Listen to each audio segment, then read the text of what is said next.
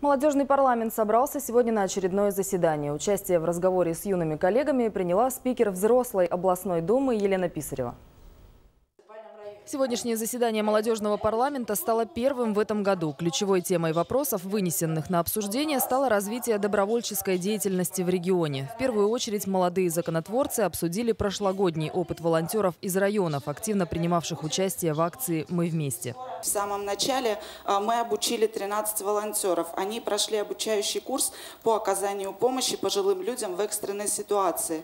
То есть, а, когда поступали звонки от тех а, взрослых людей, людей, которые находились на самоизоляции, обязательно мы отправляли одного из обученных волонтеров. Для района, в принципе, 13 человек нам хватило.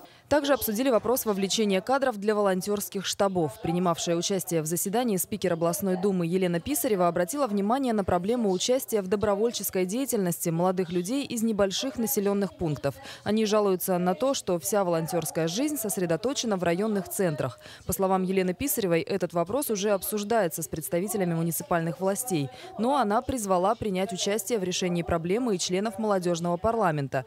Кроме того, она обратилась к собравшимся с просьбой активно активнее вливаться в законотворческую деятельность региона.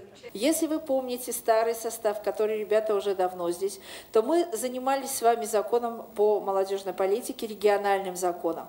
На сегодняшний день этот закон уже проекте он уже есть. И, соответственно, я приглашаю вас принять активное участие по его, по его обсуждению данного закона, который будет вынесен на заседание Новгородской областной думы.